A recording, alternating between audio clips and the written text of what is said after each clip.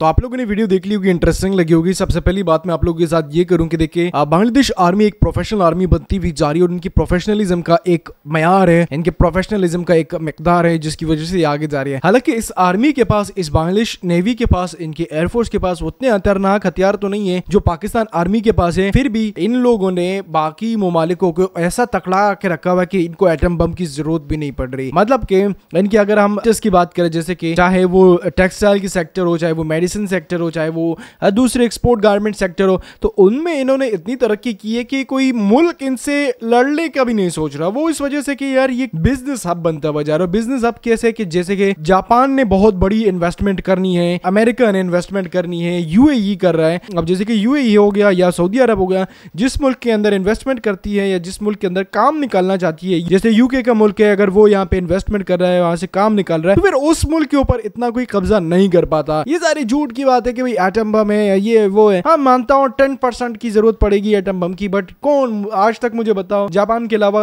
आज तक किसी के ऊपर एटम बम की पड़ी हुई है, नहीं पड़ी हुई ना? तो यहाँ पे जो हमें चीज़ दिखाई दे रही है, या हमें देखने को मिल रही है तो वो बेसिकली यही चीज़ है कि भाई बांग्लादेश आर्मी प्रोफेशनल होती हुई जा रही है। 2022 से हम इस चैनल के ऊपर इनके लिए रिएक्शन दे रहे हैं, और रिएक्शन क्या दे रहे हैं? कि जिस तरीके से बांग्लादेश आर्मी और उनकी नेवी जिस तरीके से एयरफोर्स काम कर रहा है, वो नेक्स्ट लेवल पे जा रहा है, और वो बेहतरी की तरफ़ जा रहे, ना कि सिर्फ़ बेहतरी, बल्कि मुल्क के साथ अच्छा काम हो रहा है। ये चीज़ें मैं इसलिए कह रहा हूँ क्योंकि हमने देखे ना, हम एक एक रिपोर्ट के ऊपर जब रिएक्शन देते एक एक रिपोर्ट आप लोगों के साथ शेयर करते हम आपको बताते कि किस तरीके से इनकी आर्मी आगे जा रही है, किस तरीके से इनकी नेवी आगे जा रही है, किन किन के जराए, किन जराए की वजह से इनकी आर्मी इतनी प्रोफेशनल होती हुई जा रही है। और ये सब जब आपके साथ शेयर करते तो आप लोगों को बहुत ही अच्छा लगता है। तो बेसिकली यही रीजन थी जिनकी वजूहत की वजह से बांग्लादेश आर्मी इतनी प्रोफेशनल होती जा रही है, और ये थी इनकी रिपोर्ट इनके पास क्या क्या है, वो अगर आप लोगों ने देखी है, वीडियो अच्छी लगी है तो वीडियो को लाइक लाजमी करिएगा। मिलते हैं नेक्स्ट वीडियो में।